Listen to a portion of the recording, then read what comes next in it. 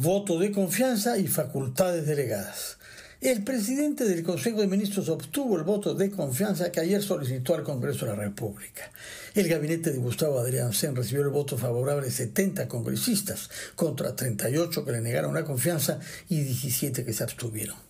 Las bancadas de Fuerza Popular, Renovación Popular, Podemos, Avanza País y Somos Perú votaron de manera unánime a favor de la confianza y a sus votos se añadieron nueve de APP, seis del bloque magisterial, tres de Acción Popular y nueve de los no agrupados. De haberse abstenido APP e incluso el bloque magisterial, no se hubiera alcanzado la mitad del número total de congresistas. El discurso de Gustavo Adrián Sen no planteó propuestas nuevas, eludió los asuntos que dividen y evitó mencionar el tema que estaba en la mente de todos los congresistas, la indagación fiscal a la presidenta Dina Boluarte.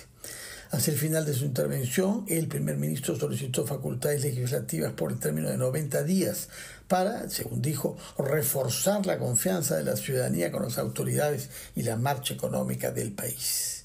Las facultades se ejercerán en un amplio abanico de aspectos que el discurso formuló en 11 paquetes de medidas. Destacan algunos objetivos que definirán políticas públicas.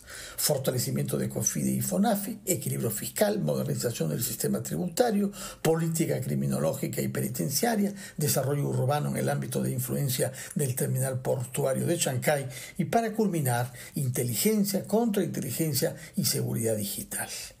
Durante las próximas semanas veremos la formulación precisa de los decretos legislativos que plasmarán el discurso de Gustavo Adrián Sen.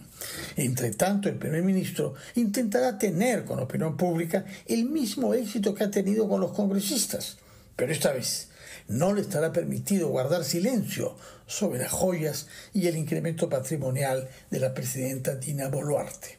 Las cosas como son.